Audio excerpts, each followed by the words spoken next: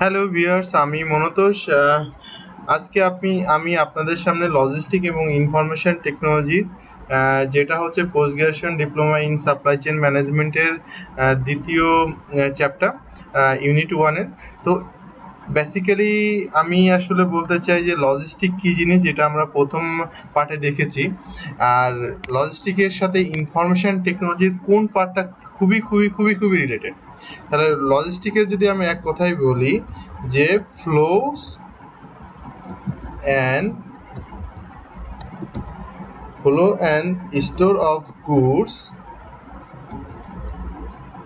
goods services and related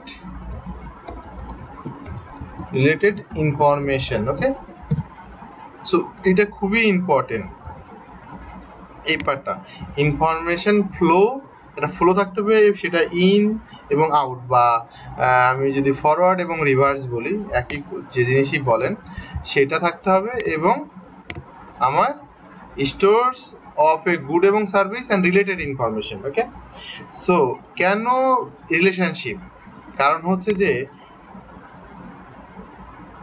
এটা হচ্ছে যে visibility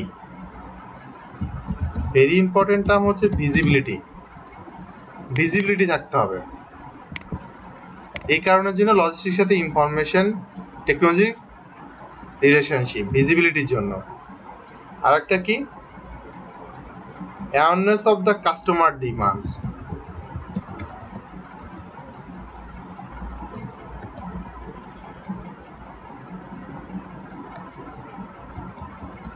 awareness of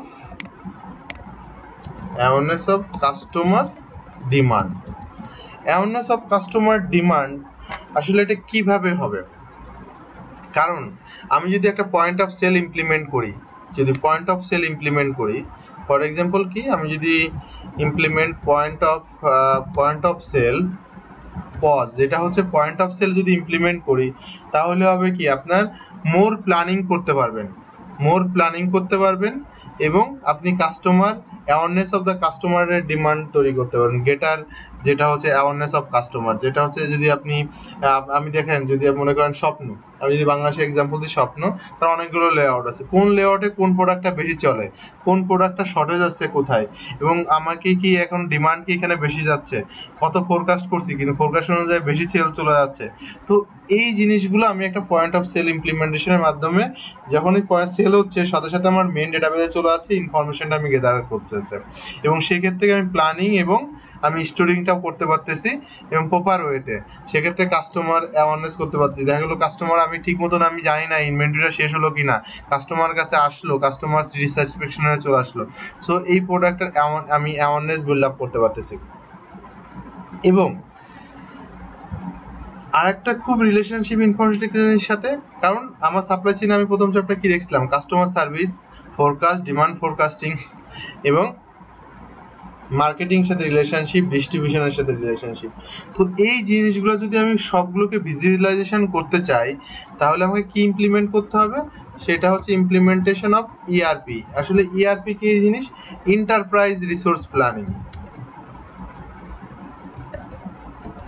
enterprise resource planning আচ্ছা কেন আমরা এন্টারপ্রাইজ রিসোর্স প্ল্যানিং বলতেছি? কারণ পুরো এন্টারপ্রাইজ ইটসেল কোম্পানি যে এন্টারপ্রাইজ তো একটা কোম্পানিতে কতগুলো ব্যাক অফিস অপারেশন চলে? Accounts inventory sales purchase commercial এবং প্রোডাকশন তো এই জিনিসগুলোর যদি প্রত্যেকটা, প্রত্যেকটার সাথে রিলেশনশিপ এবং প্রপার ওয়েতে ডেটা অন টাইমে ডেটা আমি যদি ভিজিবিলিটি দেখতে চাই, তাহলে একটা সিস্টেমের মাধ্যমে আসতে হবে, একটা প্রপার চ্যানেলের মাধ্যমে আসতে হবে। এই চ্যানেলটাই হচ্ছে যে ইনফরমেশন টেকনোলজি যেটা ইআরপি ইমপ্লিমেন্টেশন থেকে আমি বেটার পাবো। আর একটা হচ্ছে যে, আমার অর্ডার প্রসেসিংটাকে স্ট্রিমলাইন করতে হবে। কারণ order processing is a very important যেটা থেকে আমার রেভিনিউ জেনারেট হবে। এটার জন্য আমার লিড টাইমটা রিডিউস হয়। তো আমার কি কি হবে? Lead time lead time reducing lead time আমাকে যদি রিডিউস করতে পারি এবং কোঅর্ডিনেশন থাকতে হবে এবং প্রপার প্রপার কোর্ডিনেশন এবং কোঅর্ডিনেশন কোঅর্ডিনেট থাকতে হবে প্রপার কোঅর্ডিনেট থাকতে হবে, এটা খুবই ইম্পর্টেন্ট কারণ মনে করেন আমি একটা অর্ডার ম্যানেজমেন্ট কি হতো আগে প্রপার আমি যদি বলি, যদি ইআরপির সাথে আমার অর্ডার ম্যানেজমেন্টটা প্রপার ওয়েতে ইন্টিগ্রেটেড না থাকে সাপোজ আগে সেলস অফিসার ফোন করে বলতো যে, ভাই, আমার এই অর্ডারটা দেন। আর একজন ডিস্ট্রিবিউশন অফিসে লিখতো। তো দেখেন, আমি একটা ফোনে কত মিনিট যায় সাপোজ পাঁচ মিনিট সে লিখতে ভুল করতেছে রেজিস্টার বুকে এটার জন্য আমার এক্সপেন্স আছে। এবং সেটা লেখার পর সে আবার একটা তার ম্যানুয়াল জায়গায় লিখতো যে, এত এই আইটেমটি দশটা বিশটা দেখা গেলো কি কমিউনিকেশন হয়তো কিছু মিসিং হতে পারে কাস্টমার ডিসস্যাটিসফ্যাকশন তৈরি হতে পারে। তাহলে এমন একটা যদি অর্ডার প্রসেসিংটাকে স্ট্রিমলাইন করতে পারি যে মোবাইল বেস জাস্ট অর্ডার করলাম অটোমেটিক্যালি ইআরপি তে ক্রিয়েট হলো কাস্টমার একটা অ্যাওয়ারনেস এস এম এস পেল। তাহলে সেই কাস্টমার ট্রাস্ট বিল হ্যাঁ আমি এই প্রোডাক্টটা অর্ডার দিছি, এত ভ্যালুতে তো এই অর্ডার প্রসেসিংটাও আমাকে স্ট্রিমলাইন করতে হবে। তাহলে আমি বুঝতে পারলাম যে আমার রিলেশনশিপটা লজিস্টিকের সাথে কি কি ধরনের লজিস্টিকের সাথে ইনফরমেশন এখন আমরা যদি বলি type of type of information technology আমরা লজিস্টিকের জন্য এবং লজিস্টিক যত রিলেটেড ট্রানজাকশন আছে, এটার জন্য ইউজ করব। আমরা কি করতে পারি?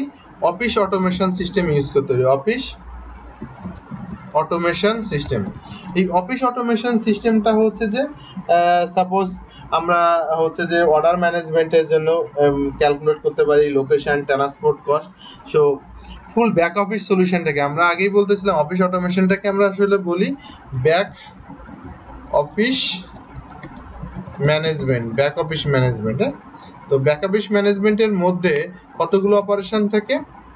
Sales order management order management inventory delivery এবং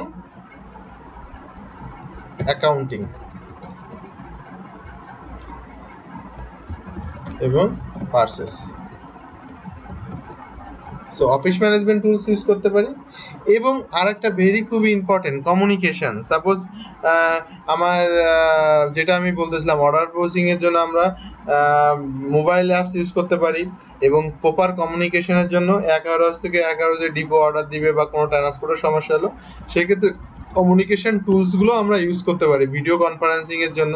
সাপোজ আমি কোনো প্রোডাক্ট সোর্সিং করতে যাচ্ছি, আমার এই দেশে বায়ার আছে, ওই দেশে আমি আসলে না যেয়ে তাদের দ্রুত সময় আমি প্রোডাক্টটা নিতে চাই। তো সেক্ষেত্রে আমার কমিউনিকেশন টুলগুলো ইউজ করে আমরা কমিউনিকেশন টুলস ইউজ করতে পারি। কমিউনিকেশন টুল ইউজ ইউজেস হ্যাঁ? কমিউনিকেশন টুল টুল ইউজ করতে পারি।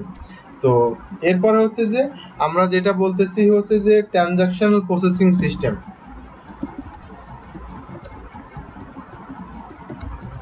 transactional processing system হচ্ছে যে সাপোজ আমি ট্রানজাকশনাল প্রসেসিং সিস্টেম ভেরি খুবই ইম্পর্টেন্ট যেমন আমি এখন কমিউনিকেশন যেমন আগে কি হতো নর্মালি কাস্টমার অফিসে এসে পে অর্ডার দিত ব্যাংকে টাকা দিত, এখন এই কমিউনিকেশনটা গুলো আমরা খুব মানে কুইক করতে পারি। কীরকম? আমরা হচ্ছে যে অনলাইনে পেমেন্ট করতে পারি ইএফটি ইএফটিএফ এর মাধ্যমে পেমেন্ট করতে পারি। ইলেকট্রনিক্স ডেটা এক্সচেঞ্জ যেটা হচ্ছে লজিস্টিকের খুবই ইনফরমেশন বিল পেমেন্ট প্রাইসিং এবং পার্সেস অর্ডার সাবমিশন এবং অনলাইনে পার্সেস অর্ডার সাবমিশনের কাজ করতে পারি। তাহলে আমরা এই যে ট্রানজাকশন প্রসেসিং সিস্টেমের মাধ্যমে আমরা কি কি জিনিস মেনটেন করব যে সেটা হচ্ছে যে একটা হচ্ছে electronics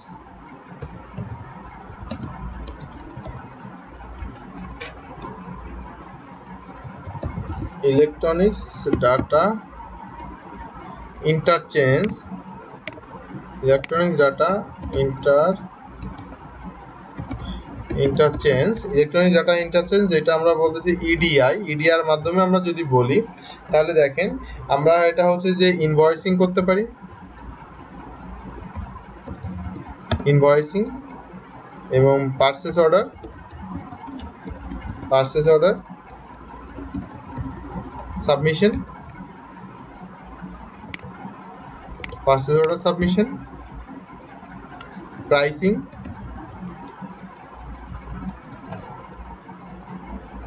Fund transfer এটা বললাম যে এখন ইএফটি পেমেন্টের মাধ্যমে টাকা দিতে পারি বা অনলাইনে পেমেন্ট দিতে পারি এবং বিল পেমেন্ট সো বিল পেমেন্টটা আমরা অনলাইনে করতে পারি। তাহলে আমরা দেখলাম যে আমরা ইলেকট্রনিক ডাটা এক্সচেঞ্জের মধ্যে ইডিআর মাধ্যমে এগুলো করতে পারি, যেটা আন্ডার দা হচ্ছে যে আমরা যে জিনিসটা দেখলাম যে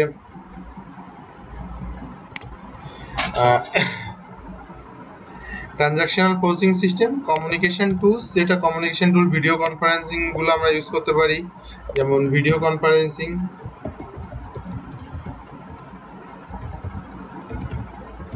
video conference communication tool হিসাবে।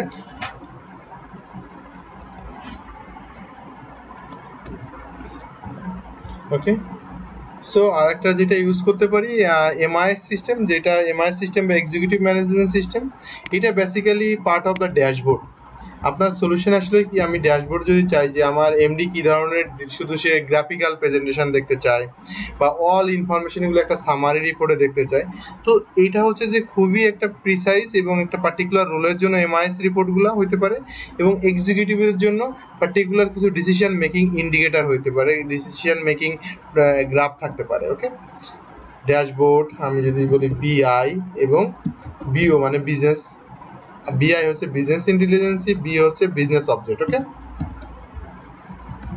এবং এছাড়া হচ্ছে যে আপনার আরেকটা টুলস আমাদের যেটা খুবই ভেরি ইম্পর্টেন্ট সেটা হচ্ছে decision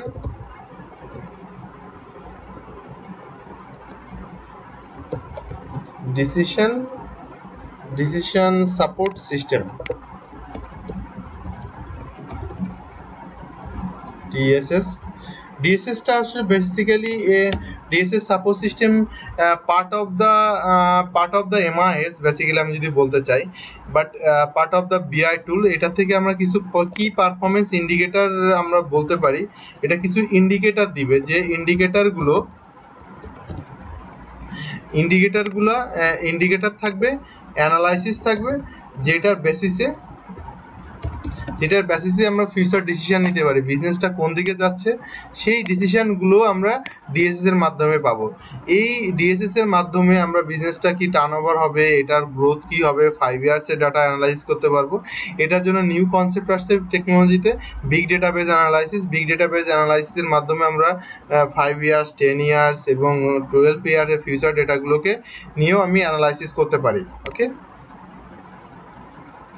সো এই পার্টগুলো এখানে থাকবে। এবং এছাড়াও আমরা আর একটা টুল যেটা এন্টারপ্রাইজ সিস্টেম যেটা part of the full ইআরপির back office as well as the resource management full এন্টারপ্রাইজের রিসোর্স যেটা হচ্ছে যে এন্টারপ্রাইজ সিস্টেম ইউজ করতে পারি। এন্টারপ্রাইজ সিস্টেম হচ্ছে যে ক্রিয়েট ডাটা প্রসেসিং মেথড এবং integrated database across the multiple business function enterprise suppose আমরা group of company so group of কোম্পানির প্রতিটা বিজনেসে group of companies group of companies এর each and each and every activity যদি আমি monitoring করতে চাই, তাহলে আমি এন্টারপ্রাইজ সিস্টেমকে ব্যবহার করব উইথ রিসোর্স প্ল্যানিং এবং এবং এবং planning resource planning resource planning okay with resource planning.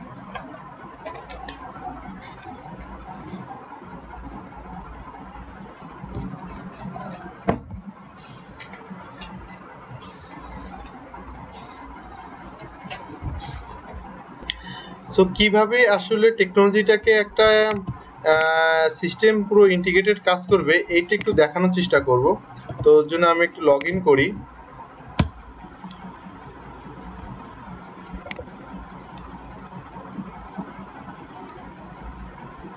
আমি একটু আপনার দেখানোর চেষ্টা করি। যেমন সাপোজ আমি মনে করি আপতাপ ট্রেনিং এ ঢুকলাম।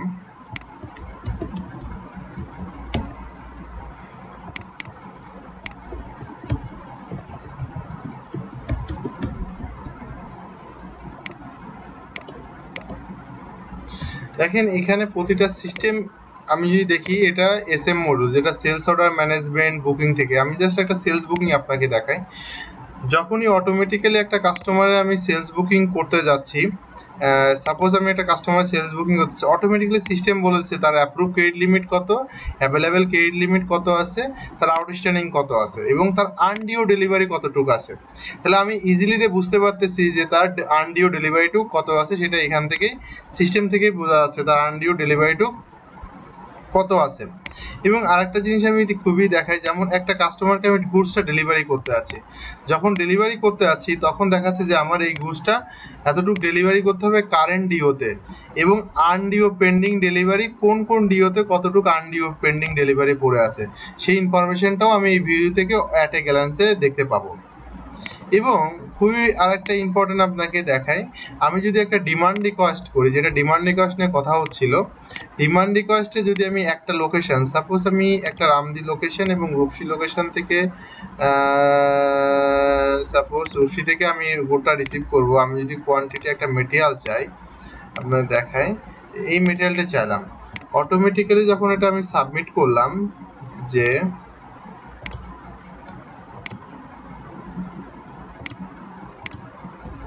দেখেন ডিমান্ড রিকোয়েস্টের ভিউতে আমার যদি পেন্ডিং কোনো আনডিও ডেলিভারি থাকে, সেটা আমাকে এখানে শো করবে। এবং এই ডিমান্ড রিকোয়েস্টে আমি যখন অ্যাপ্রুভ করতে যাব, আমি যদি অ্যাপ্রুভালে দেখি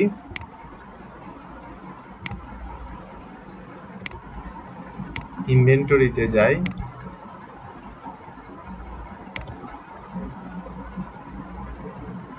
দেখেন, আমি দেখার সময় দেখতেছি আমার কারেন্ট ওয়্যার হাউসে কতটুকু স্টক আছে, আমি সেটাও আমি দেখতে পারতেছি। আমি যদি এটাকে অ্যাপ্রুভাল করতে যাই এবং আমি আমি যদি একটা আইটেমে ক্লিক করি, আপনাকে দেখাই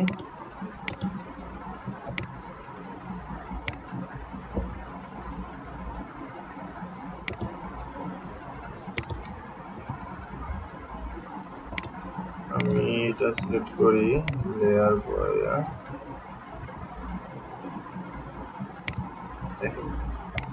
এইখানে এই আইটেমের উপর যদি ক্লিক করি, আমার আইটেমটা ন্যাশনাল ইনভেন্টরি দেখতে পাচ্ছি। কোন লোকেশনে কতটুকু স্টক আছে সেটা আমি দেখতে পাচ্ছি। ইজিলি তাহলে আমি ডেলিভারির সময়ও আমি দেখতে পারি। ন্যাশনাল ইনভেন্টরিটাও আমি ইজিলি মনিটরিং করতে পারেন থ্রু ইআরপি সিস্টেমের মাধ্যম দিয়ে। এবং আরেকটা জিনিস দেখার চেষ্টা, দেখানোর চেষ্টা করি আপনাকে।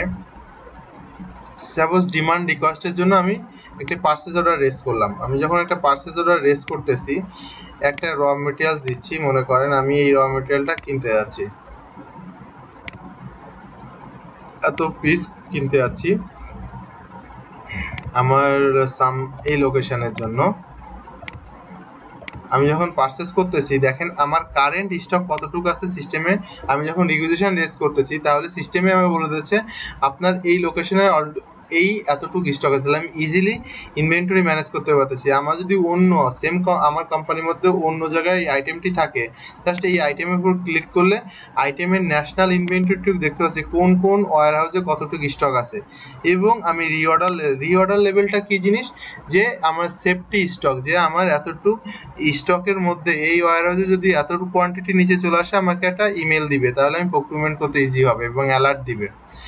গুডস ইন ট্রানজিট এবং আমাকে দেখাচ্ছে ওয়ান হ্যান্ডে কতটুকু আছে আমার রিঅর্ডার লেভেলে কতটুকু আছে গুডস ইন ট্রানজিট। মানে যেটা আমি অলরেডি পারচেস করছি, আমার স্টকে ঢোকে না। সেটা গুডস ইন ট্রানজিটে কতটুকু আইটেম কোয়ান্টিটি পড়েছে গুডস ইন ট্রানজিটেরও এটা আমি দেখতে পারব at a glance information to ঠিক আছে?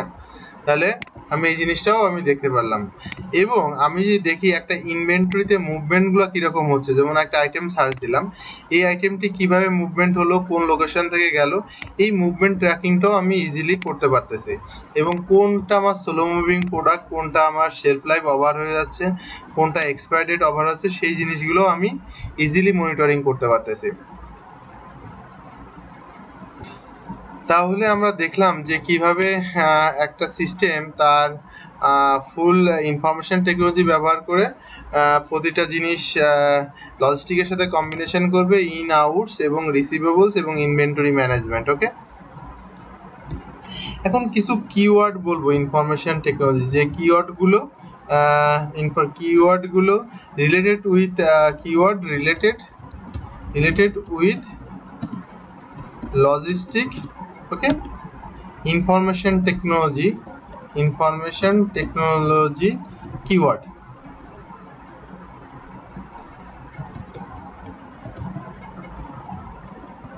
information technology কিওয়ার্ডগুলোকে যে কিওয়ার্ডগুলো আপনার জন্য খুবই ইম্পর্টেন্ট কাজে লাগতে পারে, সেটি হচ্ছে যে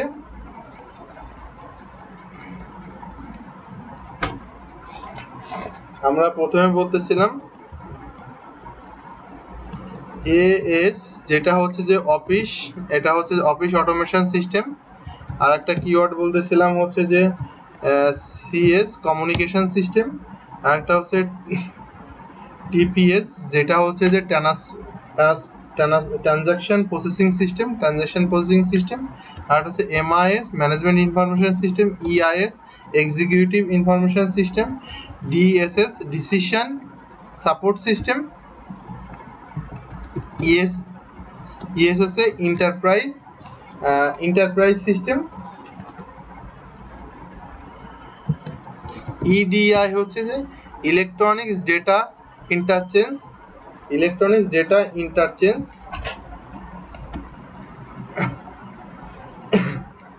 এবং ইউপিসি যেটা হচ্ছে যে universal universal product code first হচ্ছে point of sale R FID radio FID radio frequency identification radio frequency identification এইটা জাস্ট একটু জাস্ট বলি আপনাকে, যে এইটা বেসিক্যালি বারকোডের পরের ভার্সনটা যেটা বারকোড আমরা প্রোডাক্ট ধরে ধরে স্ক্যানিং করতে হতো, এটা আসলে প্রোডাক্ট ধরে ধরে স্ক্যানিং করতে হয় না, এটা ট্যাগের মাধ্যমে অটোমেটিক্যালি আমি ইনভেন্টরি ম্যানেজ করতে পারি।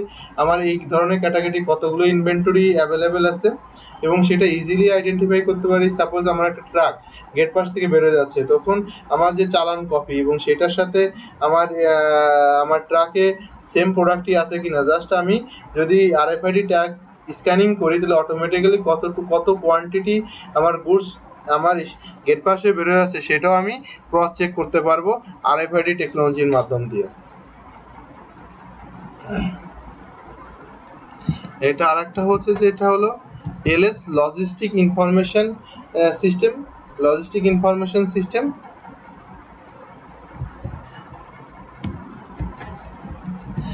আরেকটা এটা basically not information technology GIGO GIGO হচ্ছে যে গার্বেজ ইন এবং গার্বেজ আউট আমি জাস্ট লিখে রাখি। Garbage garbage in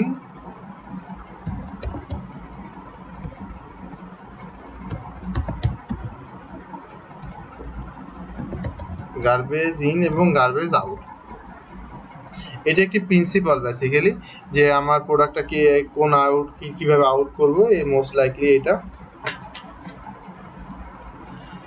আর একটা আসলে বেসিক্যালি খুবই টার্ম যেটা হচ্ছে অন ডিমান্ড সার্ভিস যেটা হচ্ছে যে on demand system on demand যেটা হচ্ছে যে আমি যে রিপোর্টটা চাই, সেটা কুইকলি আমি ডেভেলপ করতে পারব। এটা অন ডিমান্ড সার্ভিস এবং আর একটা হচ্ছে টিএমএস, এটা হচ্ছে ট্রান্সপোর্ট ম্যানেজমেন্ট সিস্টেম আমরা অনেক সময় যেমন জিপিএস গাড়িতে লাগাই এবং আমার গাড়িটা মুভমেন্ট হচ্ছে কিনা লিড টাইম ঠিক মতন কাজ করতেছে কিনা এবং রুট কস্ট অ্যানালাইসিসের জন্য টিএমএস ম্যানেজমেন্ট সিস্টেম ইউজ করি। ওয়ার হাউস ম্যানেজমেন্ট সিস্টেম আমরা অনেক সময় ডাব্লিউএমএস ওয়ার হাউস ম্যানেজমেন্ট সিস্টেমের জন্য warehouse management system use করতে পারি।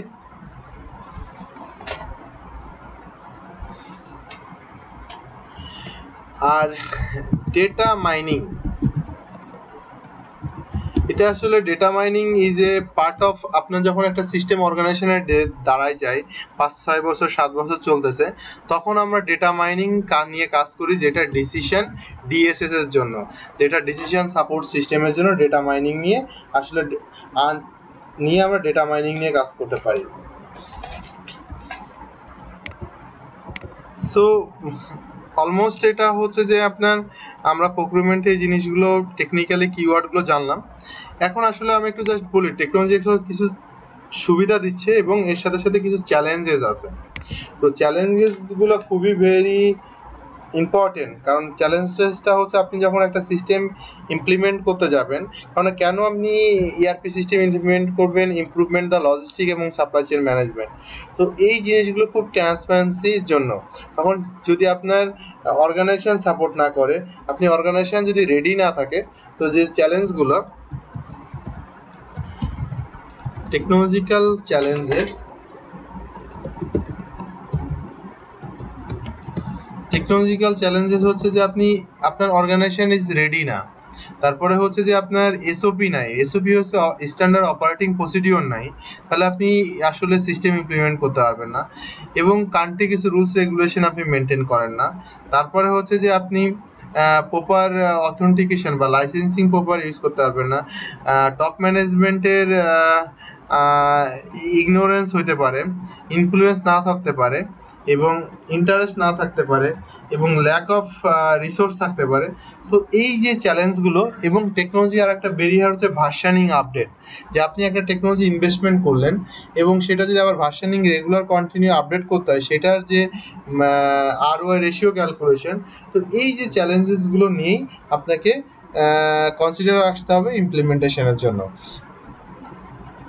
সো ওভারঅল সাপ্লাই চেন এবং লজিস্টিক ম্যানেজমেন্টের এই চ্যাপ্টারতে এই পার্টগুলোই তো নেক্সট চ্যাপ্টারতে আসলে আমরা যে পার্টগুলো নিয়ে ডিসকাশন নেক্সট চ্যাপ্টারতে আমরা যেটা নিয়ে ডিসকাশন করব, সেটা হচ্ছে understanding of the supply chain okay thank you viewers